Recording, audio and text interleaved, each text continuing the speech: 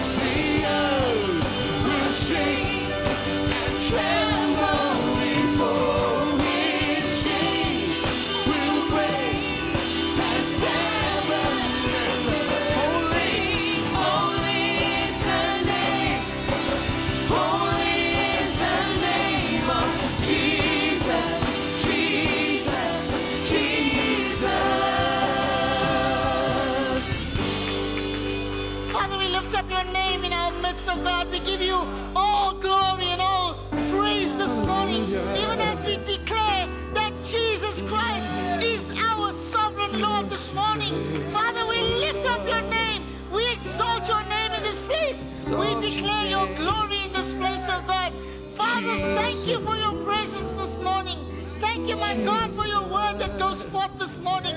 I pray, Father, that you and you alone would be lifted up. You and you alone would be exalted in our midst this morning, Father. Thank you for your mighty presence. Thank you for your Holy Spirit. Father, thank you for hearts that are ready to receive your word this morning. Father, thank you this morning that you move in the midst of your people to bless them this morning. I declare this now in Jesus' name. Amen, amen, and amen. Thank you, worship team. That was awesome. Thank you. You may take your seats. I greet you in the awesome and precious name of my Lord and Savior Jesus Christ. What an awesome time of worship. Hallelujah. It's so good to be in the house of the Lord. I bring you greetings from Pastor Rufus and Diane Lachmigadu and Pastor Ranji Goundan from Radiant Life Ministries, all the way from the land of milk and honey, Port Shepstone. Amen. This morning, I have a word for you. It is a personal word. It is a word that is personally for you. And I want you to write this word down. If you can, write this down in your Bible, somewhere that you will see it every time you open your Bible. I want you to write it in bold letters, capital letters, highlight it, make it plainly visible. I want you to write these words down because I guarantee you that when you receive these words, when you understand them, when you believe it, when you when you make when you settle these words in your heart, it will change your life forever. You will no longer be the same person. It will change the way you think, it will change the way you walk, it will change the way you talk, it will change your faith walk. I want you to write these words down. My God, my God hears me when I call. My God hears me when I call. Now, many of you know this. It's like, yeah, God, God hears me. But I want you to make an effort this morning to concentrate on this statement. My God hears me when I call. I want you to settle this in your heart this morning. I mean, I can preach about a lot of things, but the Holy Spirit caused me to preach this word this morning. And I don't say that lightly. Uh, I've been impressed by God to preach this word this morning because I believe that the church knows it on the surface. The church knows it on the surface, like, yes, God exists. We know it on the surface, but there is a level of believing and understanding this word. My God hears me when I call. There's a level of understanding of this word that will catapult your faith to another level. Amen. Now, what am I talking about? So let's start with some basic scriptures. And I want to start with Genesis chapter 4, verses 25 and 26, is it? 25 and 26. Genesis chapter 1, we all know is the creation of, of the earth. Genesis chapter 2, we know is the Garden of Eden. Genesis chapter 3, we know is the fall of man. Genesis chapter 4, we know is the story of Cain and Abel. But the, at the end of Genesis chapter 4, there are two verses that are very, very important. This is what it says. And Adam knew his wife again, and she bore a son and named him Seth. For God has appointed another seed for me instead of Abel, whom Cain killed. Verse 26. And as for Seth, to him also a son was born, and he named him Enosh. Now, this is the verse I want you to see. Then, then, then men began to call on the name of the Lord. somewhere i- God slipped this one, one scripture in. Then men began to call on the name of the Lord. Now, if you look into the chronology of Adam and you go into chapter 5, you'll discover that Adam is now 235 years old when his grandson is born. Right? So if Adam's chronological age began when, when he fell, from the fall of mankind, when he fell, when, he, when day one was when he fell, this is 235 years later. For 235 years, nobody was calling on the name of the Lord. Somehow, here in Genesis, in the, in the lifespan of Adam's grandson, suddenly men discovered that there was an invisible, mighty God, Jehovah God, that they could call upon who would respond to them. Right here in Genesis, we have this awesome uh, verse that says, Then men began to call upon the name of the Lord. Now, this word call is a powerful word. It's not, God, I call on you. No, it's not a mumbling word. It's not a quiet word. It is a powerful, robust word. It is a word that means cry out. It is a word that means seek after.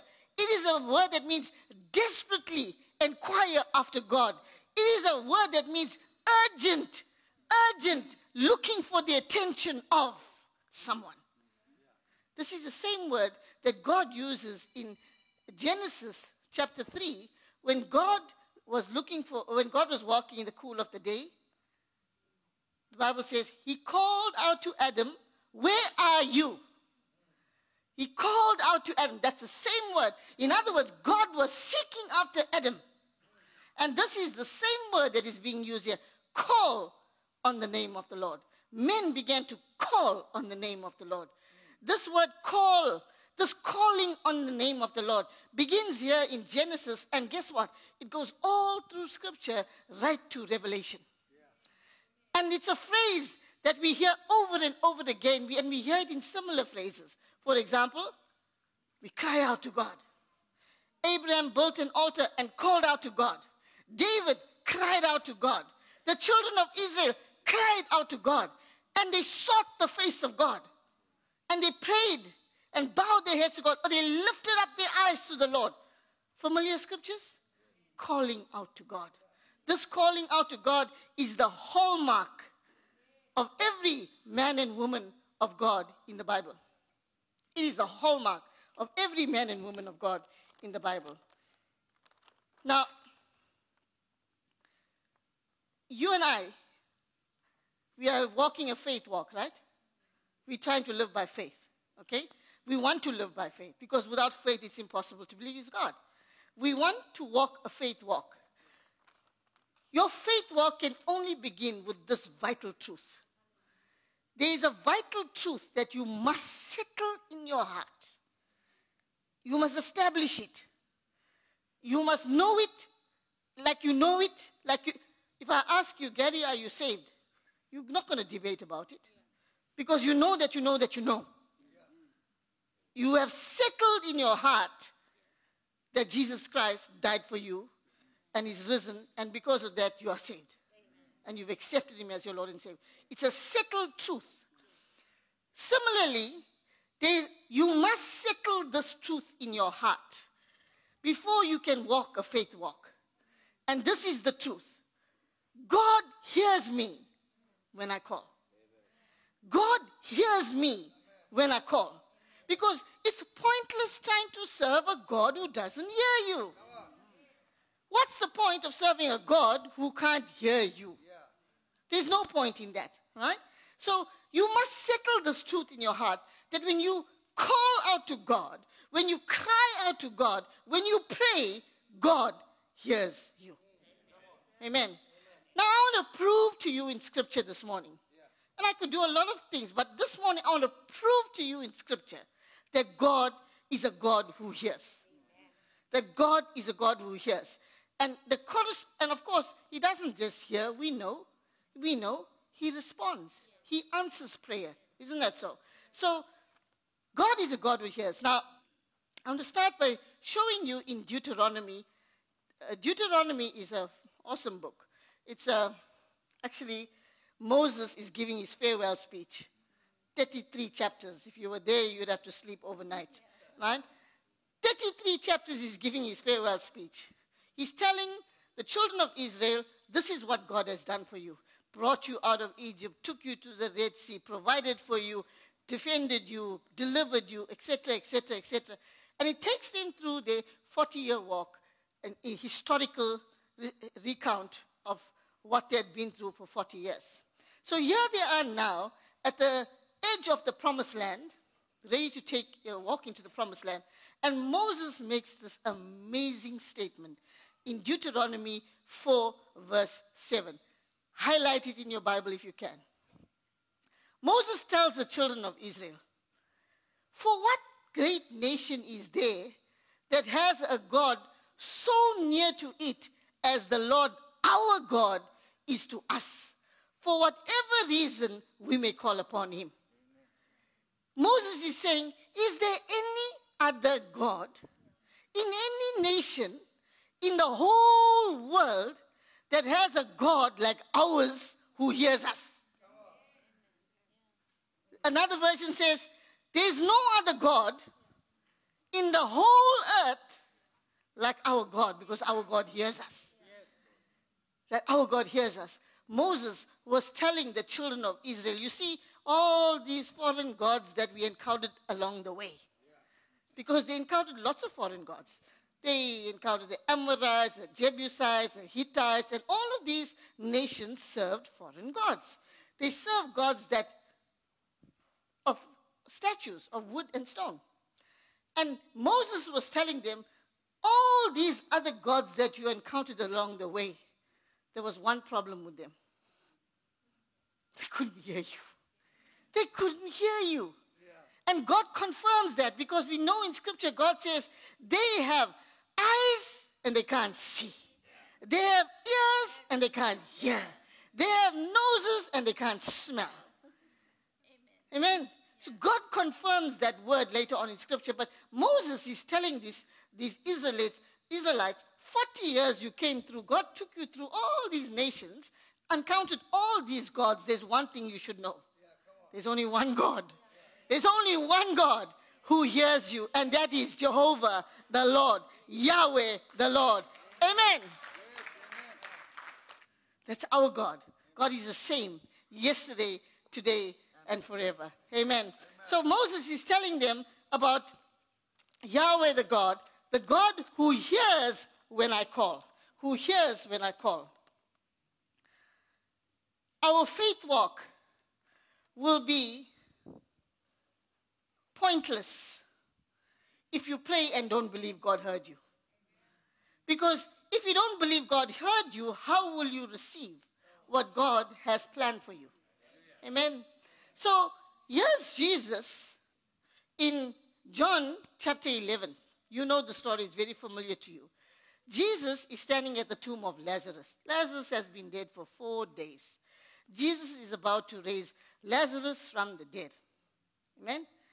And Jesus makes this amazing statement. John chapter 11, verse 42, 41. Then they took away the stone from the place where the dead man was lying. And Jesus lifted up his eyes and said, Father, I thank you that you have heard me. Heard me, past tense. Which means Jesus prayed in the past that now he's thanking God for hearing him. When did Jesus pray? Four days ago. Four days ago, before Lazarus died, four days ago, Jesus prayed. Right? And he says, God, I thank you that you heard me. Now, is Jesus going to lie that God hears? No. Jesus is confirming to you and I that our Heavenly Father hears when His servant prays to Him. Because remember, Jesus is coming as a man, right? Right? And go to the next verse. And I know that you always hear me. Hello. I like that. I like that. In other words, He's not going to hear you sometime, some of the time. He's going to hear you always.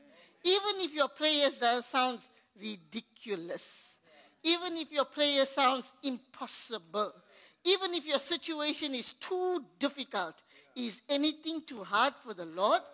He hears you always. But because of the people who are standing by, I've said this that they may believe that you sent me. So, what was Jesus telling this crowd? He was telling this crowd, My God hears me.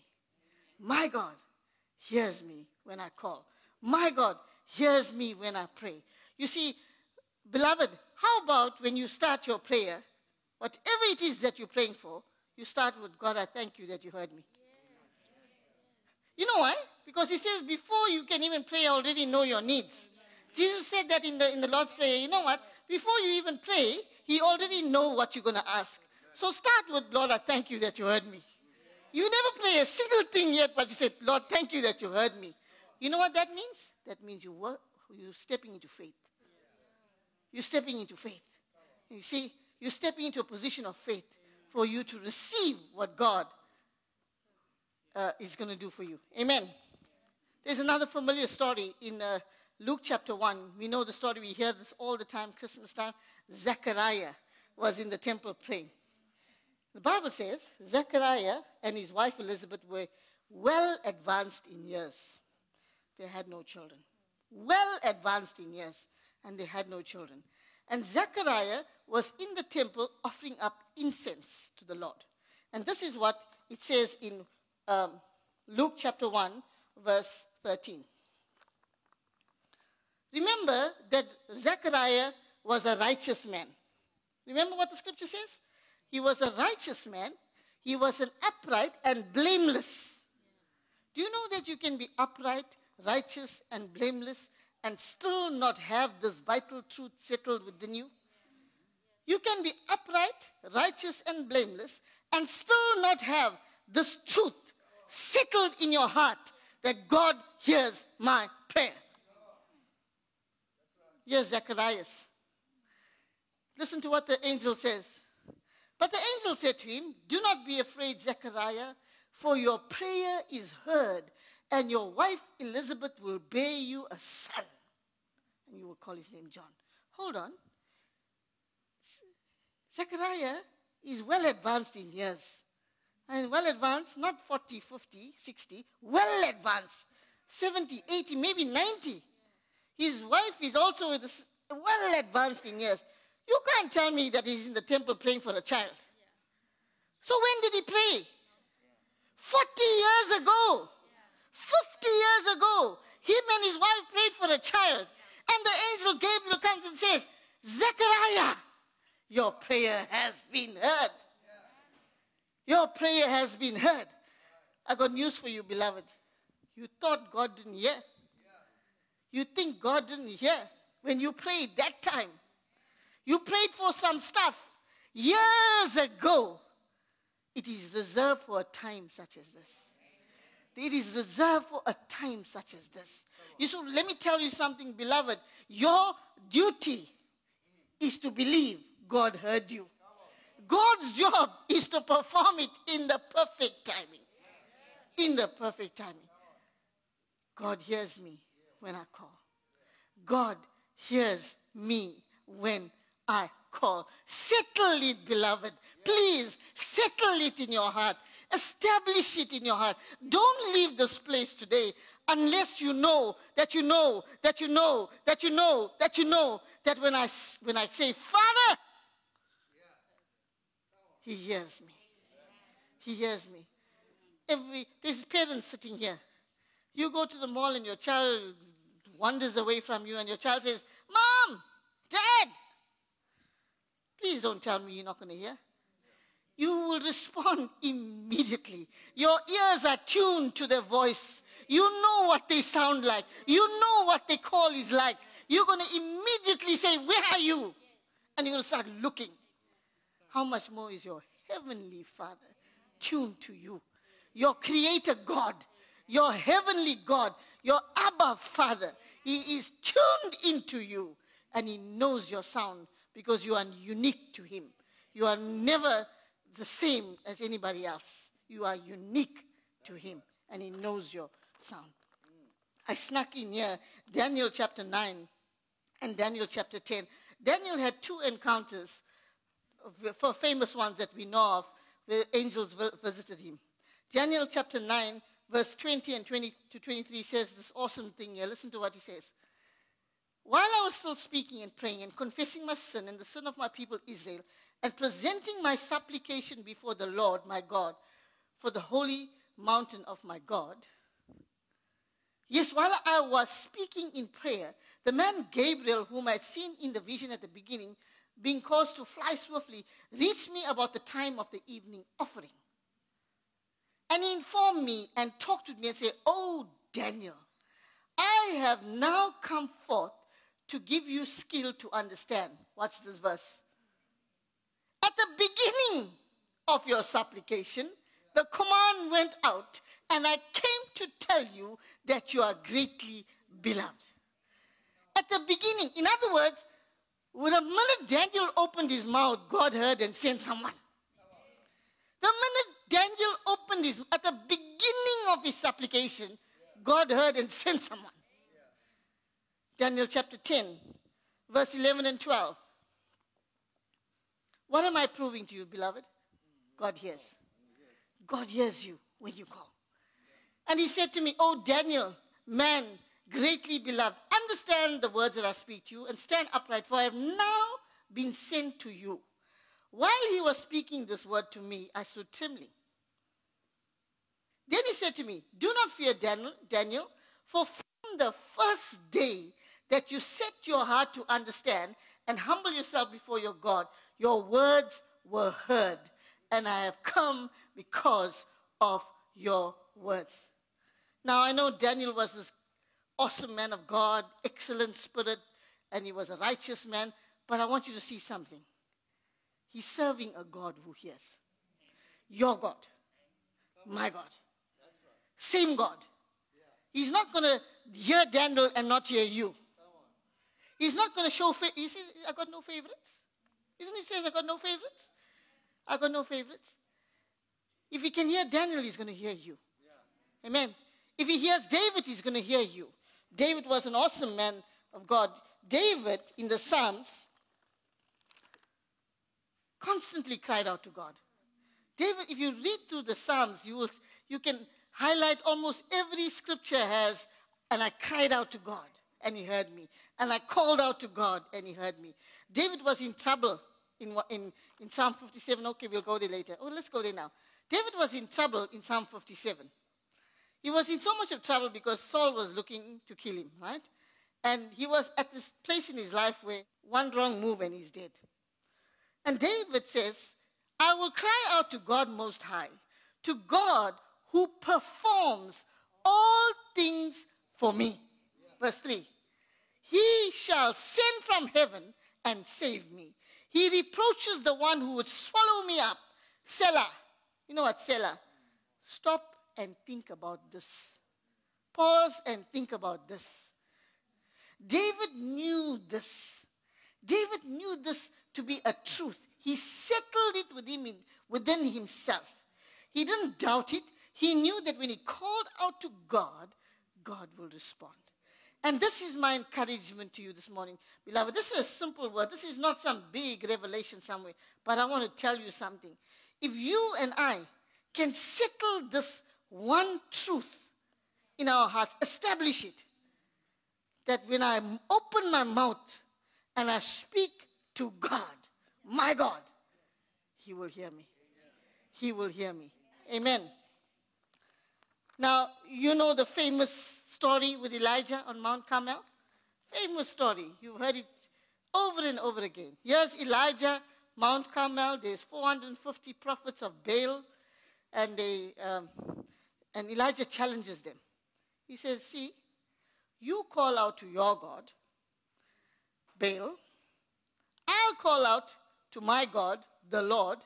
Let's see whose God is going to respond." Right? So the Bible tells us that they did they sacrifice and they started calling out to God from morning till noon. They cried out, Oh, Baal, hear us. Oh, Baal, hear us. Cut themselves, you know, like, like, you know, okay, cut themselves and started doing some funny tricks. Oh, Baal, us. And the Bible says, but there was no answer. No answer. No voice. Then it was Elijah's turn. Got his sacrifice ready? It was his turn. This is what it says in 1 Kings chapter 18, verse 37 and 38. Let's read it. Hear me, O Lord. This is how Elijah starts. Hear me, O Lord, that this people may know that you are the Lord God, and that you have turned your, their hearts back to you again. What was the proof that God was Lord? That he would hear. That was the proof. Because the challenge was let's see who's God going to respond. Because the one that responds is the true and the living God.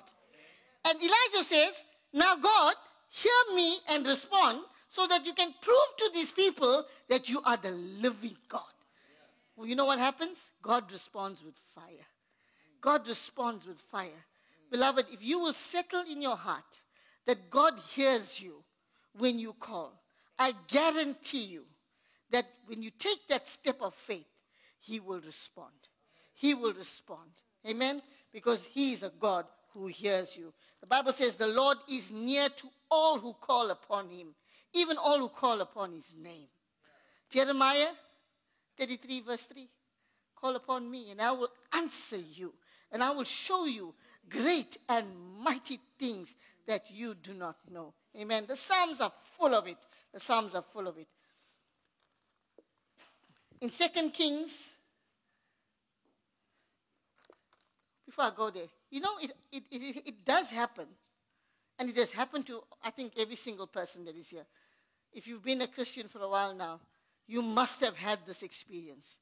That when you were in deep trouble, you know that deep trouble, the hot water, when you got no way out, when there's no chance of somebody helping you. Bank said no, friends said no, borrowing said no. Even the, if you try to steal from your boss too, they didn't have money. There was no way out for you. And so you cried out. You know that cry that came from the inside? It somehow it happens that when we are in our most distressful place, that the innermost, our innermost being is awakened to cry out to God. And guess what? God responds. There's, I, I'm, I guarantee you that you are sitting here today and you are saying amen to this. Because God will always respond to the call of his children. He will always respond to those who cry out to him. Amen. God will always respond. So there's an interesting story in 2 Kings chapter 1. When you read the story for the first time, you're like, okay, this is a nice story, interesting. I wonder what's the point. Okay? And there's a couple of things that you can pick up and, and enjoy, but it's such, a, it's such an awesome story. So this is how the story goes. and I'm going to paraphrase because it's quite long. The Bible says that Ahab and Jezebel, you know those two, those wicked two, those two that pair were so wicked that they turned the whole of Israel away from following after the Lord. Those two made Israel, the children of Israel, the Jewish nation, follow idols and all kinds of foreign gods. And the Bible says that they had a son called Ahaziah. Now, when Ahab died, Ahaziah became king. Okay? So let's read uh, 2 Kings chapter 1, verse 2.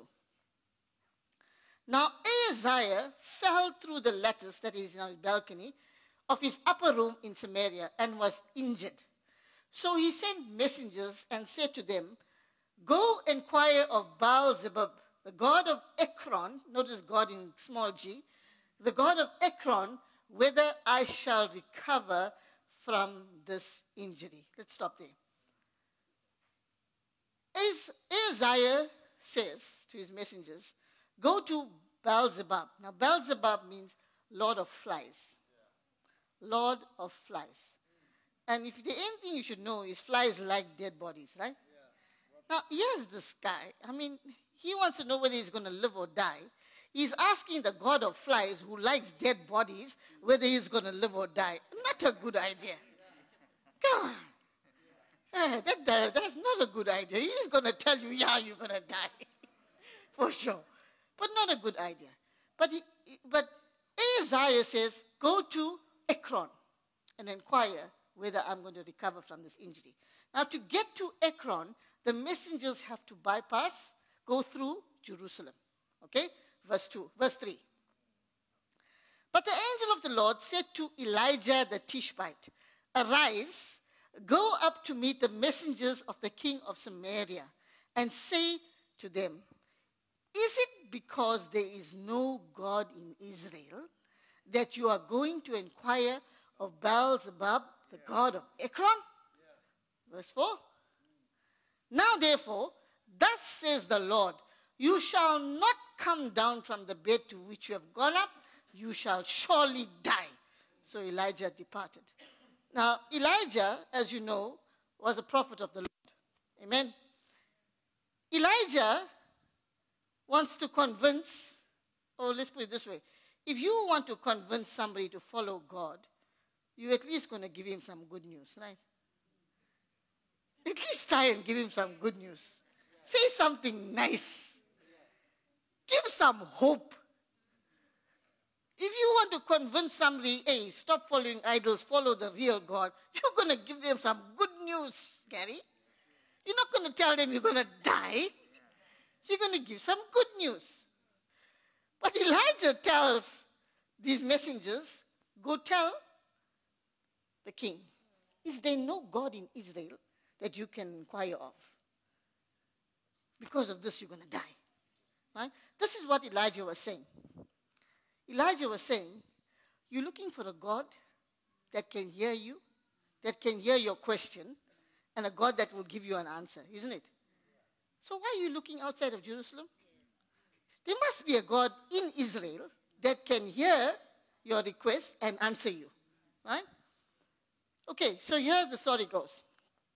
Uh, the messengers go back now and they tell Ahaziah, We were on our way, we met this hairy guy with a leather belt. This is what he said. And Ahaziah says, Oh, this is Elijah the Tishbite. Now, Ahaziah did not grow up in a home where they worshiped the Lord.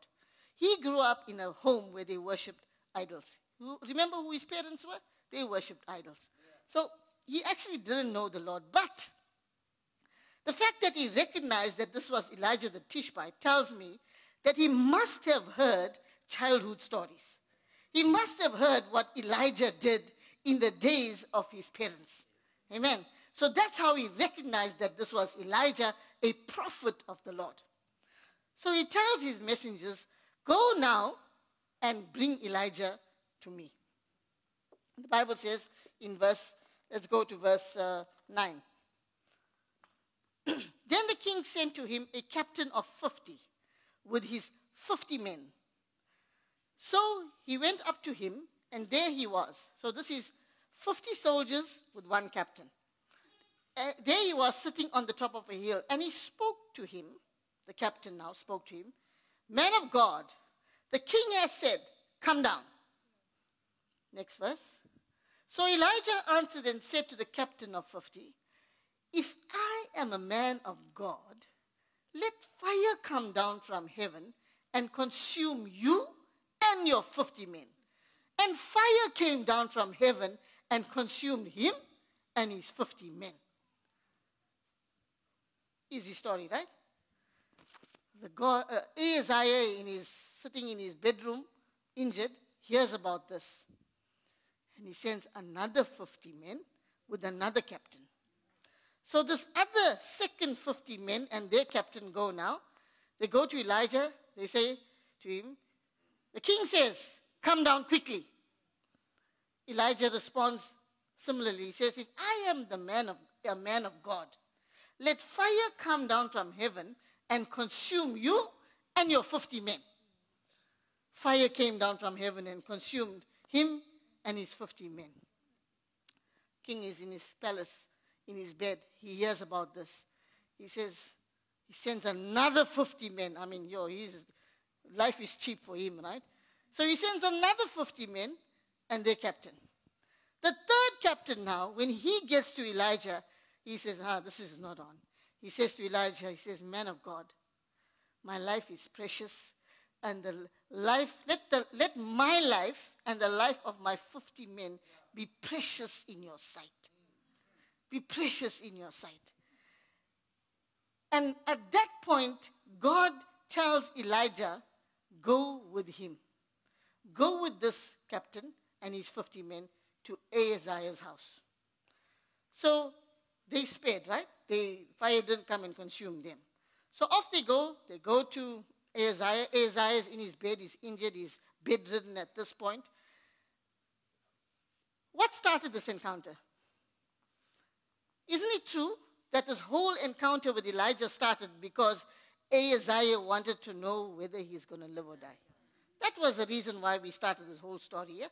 This whole thing started what Elijah sending this message because Ahaziah wanted to know from a God. Not from a man. He wanted to know from a God. Am I going to live or am I going to die? So, what was all this drama now of 50 men dying and the captain, and another 50 men dying and all, and the, and, uh, and the captain, and then 50 men going and pleading for their life and getting. What was all this drama about? You see, God was showing Ahaziah that he was a God that could take life or spare life. He was a God that could hear his prophet saying, Fire come down, or he could hear the ordinary man say, God spare my life. He was a God, God was showing Ahaziah that those other gods wouldn't be able to hear him, but there was a living God in Israel who could spare life or take life. And wasn't that what Ahaziah wanted to know? Am I going to live or am I going to die? That was what he was asking. Elijah was proving to him that God heard when Elijah said, consume. And God heard when the, when the soldier said, save me, save my life. Ahaziah had a perfect, Ahaziah had the perfect opportunity to say, God, you're real. You're the real God. You're the God who hears. Not like that fake one in Ekron, the Lord of flies. You are the real God. You see, our God, our God, in His hands is our life. Amen. The Bible says in Psalm 68, verse 20, write it somewhere. It is a word for you. And some of you have even used this word. Psalm 68, verse 20. Listen to what the Bible says. Our God is the God of salvation, and to our, to God the Lord belong escapes from death. Write that scripture down. Because the next time you feel like you're going to die, let me tell you, you remind God of this word. God, to you belongs escapes from death. To you, God belongs. In other words, only God can decide whether you're going to live or die.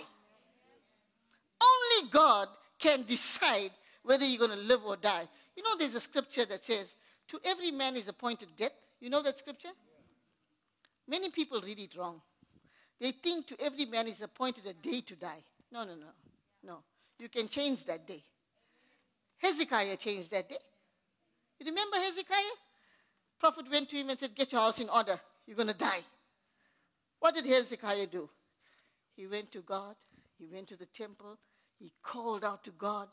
He said, God, you know what I've done. You know what I've done. And God said, I'm going to give you 15 more years. To every man is appointed death. Yes, we're all going to die. But your date, you negotiate with God. Your date, you negotiate with God. You say, God, I'm in dire trouble. Doctor's report says cancer. Doctor's report said TB. Doctor's report said this is bad. You're not going to live. You're not going to live. But God, to you belongs escapes from death. And guess what? He hears you. He hears you. He hears you. This is our God. This is what I need you to settle. Before you leave this place today, settle it. Settle it in your heart. Don't leave this place negotiating about this. Please, settle it in your heart that when you call to God, He hears you and He will answer in His perfect timing. He will answer because He says, I delight in my children, I delight in you. He says, Call unto me and I will answer you. He says, Before you call, I will answer you. He gives the children of Israel, He gives us precious promises that He hears us and He will respond to us. He will answer us. And God is not there to punish you and to destroy you. God is there so that, God, you know what He says? I desire that all men be saved. I desire that all men be saved. He says He desires that all of us prosper and be in health. Isn't it so? I desire that you prosper and be in health even as your soul prospers. He desires that of you and I. He wants that for us. So God is not there sitting and waiting, okay, when is this fellow going to pray so I can kill him? No, no, no. No. He's waiting to hear you call. Because he wants to respond on your behalf. He wants to respond on your behalf. He wants to show you up before the world. He wants to, he wants to lift you up and say, This is my son. This is my daughter. Look, this is my son. This is my daughter. See the glory that I've put on her. See the glory that I've put on him. Because when, you, when he does that for you and I, he gets the glory. He gets the praise. Amen? Isn't that our God? Is that not what he wants to do for you and I? Will you believe him when he says, he answers, he hears you. He hears you. Did I go to that? Psalm 40, verse 1 and 2. This is David again. David says some fantastic things. He says, I waited patiently for the Lord. I waited patiently for the Lord. He inclined to me, not inclined? He heard me. He, he, he, he turned his ear. Turned his ear. And he heard my cry. Verse 2. Oh, I've been here. I've been here. I don't know if you've been there. Huh? In the pit? In the miry clay? Oh. Remember when you were out there in the world in sin? Surrounded by the things of the world, surrounded by the sins of sinful things that you were doing, you were in the pit. You were in miry clay. It was miry clay, dirty clay. Dirty, filthy clay. David says, and he brought me out. And he set my feet upon a rock. Oh, not all. That's not all. He established it. He established my steps. In other words, he changed the way I walk. he changed the way I walk. He put me on the rock, which is Jesus Christ, and he changed the way I walk. Amen.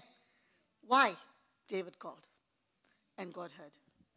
David called, and God Establish it, beloved. Establish it in your heart. Determine with yourself today. If there's anything that I'm going to leave here today with, it's this. When I call, God will hear. I believe my God hears when I call. Did you write that down in your Bible or were you still thinking whether I'm joking? You're still thinking whether uh, is it good enough to write? Write it down. It is good. My God hears me Amen. when I call. Amen. You see, Satan doesn't want you to call. You know why Satan doesn't want you to call? Because he knows God's going to hear. He knows God is going to hear. He knows God is going to hear. And he knows God is going to answer. So if he can't stop God from hearing and he can't stop God from answering, he can stop you from calling. Am I right? He can't stop God from answering. He can't stop God from hearing, but he can stop you from calling. He can stop you from calling. Huh? You know what? Why Satan wants you not to call? Because he knows God is going to come. He's going to come swiftly to your rescue. He's going to answer. He's going to move heaven and earth. The earth will tremble and shake, and chains will break. But God and God will answer. Amen. God will answer. He wants you, Satan wants you to take the another route. Phone a friend. Google, you get the answer. Go to three specialists and get a second opinion. Spend a lot of money. Oh, you no money in your pocket. You know your boss won't know if you take couple thousand from the bank account. You do this, that, that. He's not going to find out. Satan wants you to find another way. He doesn't want you to call. He doesn't want you to call. Oh, but David says, when I cried out to the Lord, when I when I when I when I turned to him, David says, when I called out to him, he rescued me. He rescued me. He delivered me. He delivered me. Amen. Solomon built this fantastic temple. You know the temple that Solomon built? Beautiful temple. And Solomon did what is called the dedication of the temple in Second Chronicles chapter 6. It was a massive event. I mean, thousands and thousands and thousands of bulls were sacrificed. Solomon did this, uh, um, gave generously to God when he, when, when he dedicated this temple. But the thing, the most important thing that Solomon did was his prayer. Because Solomon knew that God heard. God was a God that heard. And this is what Solomon says in Second Chronicles 6, verse 19. He's dedicating the temple now, right? He says, he says to God, Yet regard the prayer of your servant and his supplication, O Lord my God. Listen to the cry and the prayer which your servant is praying before you. Right? And then Solomon goes on from there. There's like another 20 more verses in which Solomon says, in which Solomon says, God, this temple that is being dedicated to you, please hear when your servants call to you. In fact, God, if there is, and, and I'm just paraphrasing because there's lots of scriptures in between. He says, for example, he says, if anybody sins and they turn towards this temple and call out to you, hear them and forgive. He says, if anybody uh, uh, does something wrong with his neighbor, commits murder or, or steals from his neighbor, or, and they repent and they come to you and they turn towards you, hear God, hear and forgive. He says, uh, God, if, if, if, if your children are in battle somewhere and the enemy is about to overcome them and they turn to this temple and they call out to you and they say, God, save us, hear them and save them. He says, God, if, if your children are in a foreign land, not even in Israel, if they're in another land and they got problems and they turn to this place and they, and they call out to you, hear them and answer. He's, he's, he's saying to God, God, prove to them that you're the true God. When you hear, when you hear and respond, they're going to know you the true God. God responds to Solomon's prayer in Second Chronicles chapter 7, in verse 12. This is what he says. This is God talking to Solomon now. Then the Lord appeared to Solomon by night and said to him, I have heard your prayer and I've chosen this place for myself as a house of sacrifice. Let's go to the next verse. When I shut up heaven and there is no rain or command the locusts to devour land. So this is what God says. He says, whatever you ask, I'm going to respond to because I have heard your prayer. You see, beloved, the children of Israel had this temple that God in which God's presence dwelt.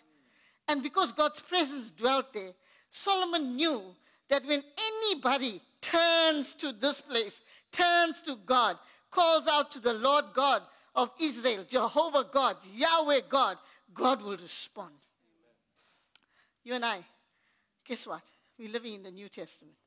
We don't have temples, but the presence of God dwells in us. The Bible tells us that His Holy Spirit lives in you and I. God with us. Now, if God is with you, with you, God is with you. He's with you. Pastor Amos, can you hear me? You with me, right? Is he not going to hear you?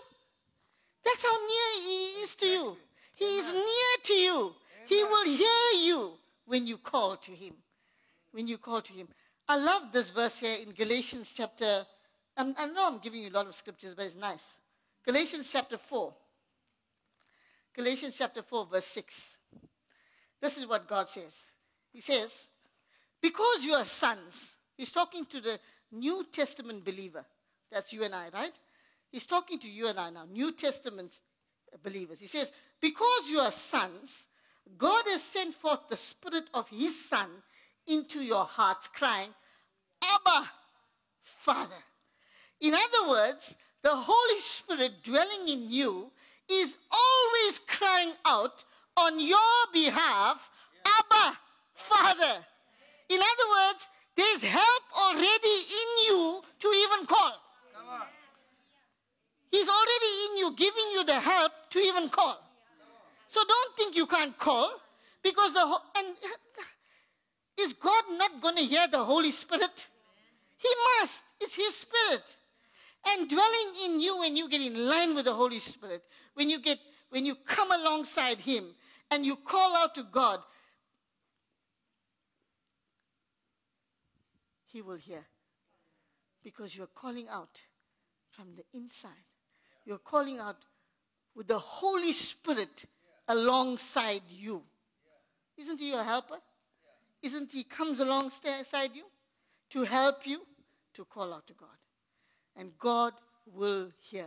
You see, beloved, don't leave this place today until you have settled in yourself that God hears you when you call. Can I ask you something? How many of you sitting here today know, hey, now that I know this, I've got some stuff I want to call out to God for? Amen? I know this now. Now I know, hey, I know God hears me. Now is the perfect time for me to start calling to God for some stuff. Hey? I'm not talking about things. I'm talking about situations. I'm talking about uh, difficulties. I'm talking about uh, issues that you have not been able to get rid of. But because God hears you when you call, today you can call to Him. Today, what you can call to Him. Can you stand with me this morning? Can you stand with me this morning? Father, I thank you. I thank you that today you hear when your children call. You hear when your children call. Father, I thank you that your word says that you will hear when you when we call out to you and you will answer us and you will show us great and mighty things that you will come and rescue us that you are father you are a deliverer that you are a savior that you will save us oh god if that's you this morning and you want to call out to God this morning, don't do it standing there. Come to the front. Don't do it standing there. Come to the front. I believe this morning that even as God is in this place this morning and He is ready to hear you. He's ready to hear you. He's ready to hear you. If that's you this morning, don't just stand there. Believe in your heart.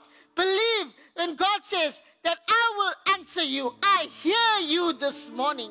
If that's you and don't stand there, come to the front. Let God hear your call this morning. Come. Hallelujah. God is telling you, call, and I will answer. Yes. Unless you seek, you're not going to find. But today is a day of deliverance. Today is a day of I call your breakthrough. And I don't want anyone to miss out that opportunity today. Whatever your situation, whatever your need, the servant of God has come to seek God for this church. What is the word that we need for our breakthrough? And what he says, call. What he says, call. And I say to you today, let not the enemy beat you. Whatever your trial, whatever your situation. Thank you, says. Anyone else want to take a walk? Come to the front. Come to the front. Don't be scared. Thank you. Thank you. There's there. Hallelujah. Come to the front. Come to the front. Hallelujah. Hallelujah. We give you praise. We give you praise. We give you praise. We give you praise. Come so understand on top. Hallelujah.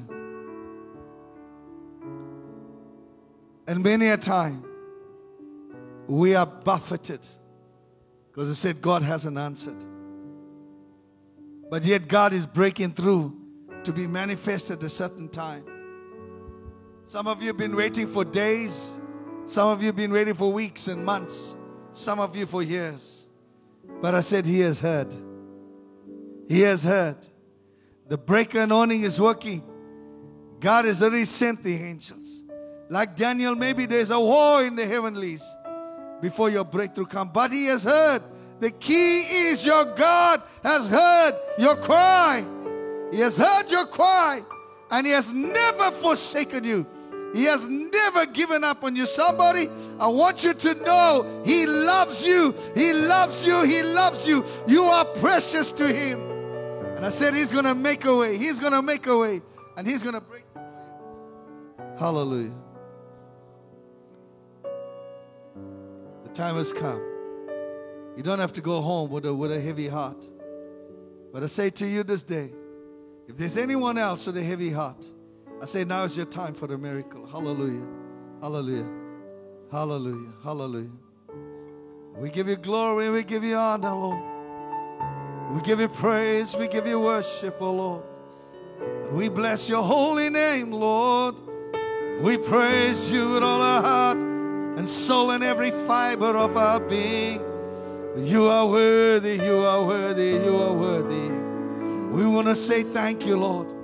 Thank you, we can call upon the name of the Lord and that He answers this day. We say thank you, we say thank you, we say thank you, we serve a living God. We say thank you, we serve a mighty God. We thank you, we serve a holy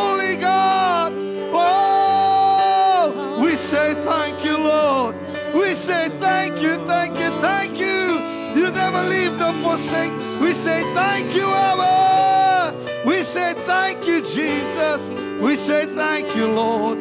Just thank you, somebody. That is a God who hears. We serve a living God. We say thank you. We say even right now, you in the front, whatever it is, you can call upon Him softly. Just tell Him what you need. Even those of you in the back, you just call upon Him and say, Father, I call. Father, I call. I call upon you. I want my breakthrough. I need a breakthrough right now in Jesus' name. Hallelujah, hallelujah, hallelujah. We give you praise. Let you just come up on top and we pray together. Hallelujah. Beloved, you know what happens? Where there's unity, He commands. And today we're standing on the top as family. And we three standing in one voice. And we're saying there is nothing that our God cannot do for you. We are saying today as a family, there is nothing that is too difficult for our job. And I say, no matter how dark you are, no matter how deep your situation is, I'm saying to you, my God is able to do it for you. Everybody raising your hand. I'm going to ask Linda to pray. And if Sohana wants to continue to whatever the Lord said, she can do it. Then we're going to take communion. Hallelujah. Today, we are just in awe of how much you love us, God. You love us so much that you have a specific word for a specific time for your children, God. We thank you today for that word, God. And we know that you are a covenant keeping God. And we know that your word is A and Amen. If you said it, so shall it be. We thank you for your word that says that your ear is always, you said always, God, inclined to the cries of our hearts today, God. We say thank you today, God. You always, God. There is no one who can give such a promise to us like you, Abba Father, that you always incline your ear to our heart's cry. You always say to us, God, call upon you in the times of trouble. And you said, You will hear. We thank you, Lord. You said you will hear today, God. I thank you for every son. I thank you for every daughter that is standing here before you, God. You know the cry of the heart. You know their desires. You know their needs today. Father, I thank you for that word that has come from your throne room this morning, reassuring us that when we call upon you, you will answer. And Father, every petition, every need, every breakthrough, God, every troubled marriage today, every financial problem, Lord, every sickness, Lord, every deliverance that we need from you today, we call upon you today. We lay it before you today. We make it known to you today. And we thank you, God, that you are hearing and that you will send the answer and you will deliver us today, oh God. You will provide. We thank you, God. Truly, we are a beloved people today, God. Such an awesome promise, God. I pray today over your sons and daughters, they will not grow weary. I come against that weariness today in the name of Jesus. But Father, we will be a people who will stand firm, God, and patiently wait and depend upon you, knowing, God, that your word will come to pass. You are saying to us, you're encouraging us, you're saying, I, the Lord God, will make it happen to you, daughter, to you, son, at the right time. So stay in faith and wait patiently and call upon me, and I will answer. We thank you, Father God. What an encouragement to us this morning, God, to know, God, that we're never alone, that every little whisper of ours, God, even in the deep chambers of our heart and our minds, God, but you know it, God. You hear it, God. And Lord, I thank you that you are a God of answer. You are that prayer answering God. We thank you today, God. Every answer today in faith in the name of Jesus. Amen. And so I seal you, your life in the front. I seal that. Pray God protect their faith now. Protect their faith. And this whole congregation, every one of us, protect their faith. Lord, you said you will encourage our faith, you will protect our faith. We will not waver when we believe. My God can move mountains, can break every chain. My God can relocate. What the enemy meant for evil, God can turn around for good. I believe that. And I give you praise. I believe that and I give you worship. And so I bless you. And so I bless you. And so I bless everyone today. And knowing this day, our God has heard your prayers. Amen. Let us give him a praise, somebody. Hallelujah. Behind every powerful woman is a mighty man of God. You know, they always say behind every man is a powerful woman of God, but I want to say behind every powerful woman is a mighty man of God. And, uh, you know, Sarah has been through the mill, like we all, but a man that has grown up and gone faithful in the house of the Lord. Um, and you know what? Really, a man that has a love, love, love to serve, and love just to see the sons of God do well. He just loves. He just loves the Lord a lot. And today, I just want him to greet you and maybe say something to encourage you because he's into this word. I greet you all in the precious name of my Lord and Savior Jesus Christ. 16 years ago, I built this pulpit. And I never thought that my wife would one day stand behind this and preach God's word.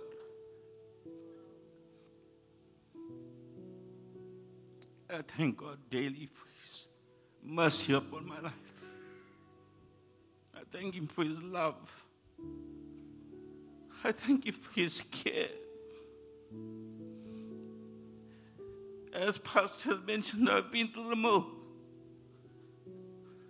I've been really through the mill.